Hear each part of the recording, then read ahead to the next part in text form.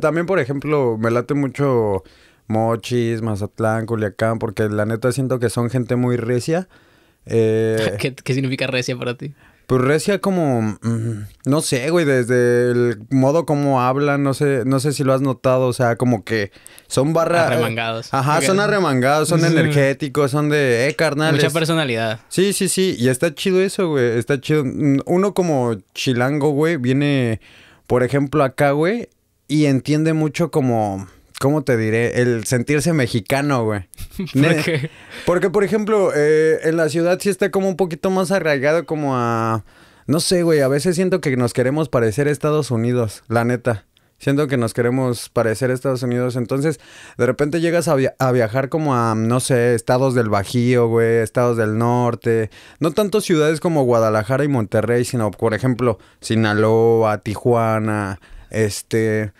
Tampico, Tamaulipas, y neta te dan este sentido de pertenencia de, güey, soy mexicano, güey. Eh, somos un, un país muy grande de sur y, por ejemplo, puede que en... Eh, no sé, güey, en Tabasco hablen acá como, eh, qué tranza, acá como arrastrando las palabras, no sé.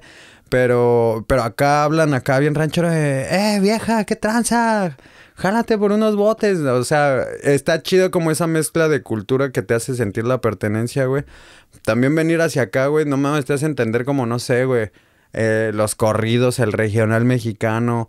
Te hace pues, sentir e-, esa parte de, no mames, yo soy bien mexicano, güey. O sea, yo, la banda que sea de otros lados, del sur, del sur y de CDMX, más que nada, dense una vuelta por... Que no sea provincia, dirían los de México. No, no, no, pues banda que neta esté metida en su pedo, güey, de que de que quieren ser acá como casi neoyorquinos, güey, que digan a la ciudad, también banda de Monterrey acá que Debería haber un nombre para ese tipo de raza, ya ves que está ahorita de moda los alucines, güey. Los alucines. debería haber un nombre específico para la raza que se cree que se cree estadounidense, ajá, como pocha o así, ajá. Sí, como pocha. Ajá, pues sí, sí te quedas así de no mames, morra. O sea, está bien que seas güerita de piel y todo lo que quieras, pero no mames, vives aquí, güey. Sí, sí, sí. Has vivido tatuaje. Fuiste una semana a Estados Unidos. Sí, ya se le olvidó el español. Ya se le olvidó. Sí, no, no, allá, allá neta tiro por viaje toda la gente. Es que sí, te digo, todos. Pues, pues están en su pedo, ¿no? Todos están en su pedo, todos están así trabajando, pero. Pero, por ejemplo, siento que. Eh, por ejemplo, las veces que he venido a Mochis me late mucho porque siento que acá hay como más unión, güey, como más humanidad, güey. No, no sé cómo decirlo. Pero neta, así como el aspecto de que la gente todavía se toma el tiempo de escuchar, güey. Que, pues no sé, como que siento que si tú tienes un amigo aquí, es más común que te juntes con él y digas, ah, vamos a armar un desmadre. Y tienes un coto a lo mejor con banda con la que creciste de chiquito. o... No, güey, pero allá sí siento que es como no sé, güey, es muy tóxica la ciudad, es muy tóxica la ciudad. O sea, tú puedes invitar a un carnal y ni te cae bien, güey. Y, ahí se andan soportando y de repente, no sé, güey. Este. Estás con gente que sabes que ni te cae bien. Eh, ¿Pero por qué? Pues porque somos, yo siento que precisamente un poquito eso como de que nadie se preocupa por nadie, güey. O sea, tú no te vas a andar preocupando así como, ah, pues ya vino ese güey, no por, o sea, siento que aquí sí son así como, ah, ya vino ese güey, ¿no? Me, me voy a ir, ¿no? Porque, pues no, no está ah, chido.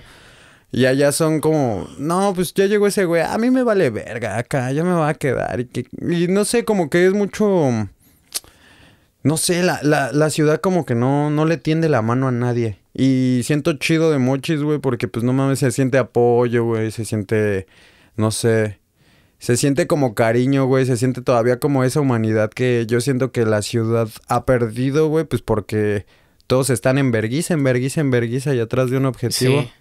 Y también el hecho de, de, hacer un chingo de tiempo para todos lados, güey, yo creo que te, te deslinda de, de estar tranquilo un rato, güey. Es como que, ah, ya vas, güey, todo el estrés.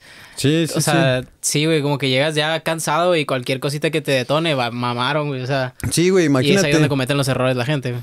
Imagínate, o sea, allá en Ciudad de México, la banda tiene que ir a su trabajo a las 8, se va, te paras una hora antes para que llegues, güey, ves todo el puto metro así lleno, güey. Imagínate que llevas un chingo de gente aquí, güey todos igual hasta la verga como tú, que al mínimo movimiento te van a volver voltear a decir, bueno, pendejo, ¿qué?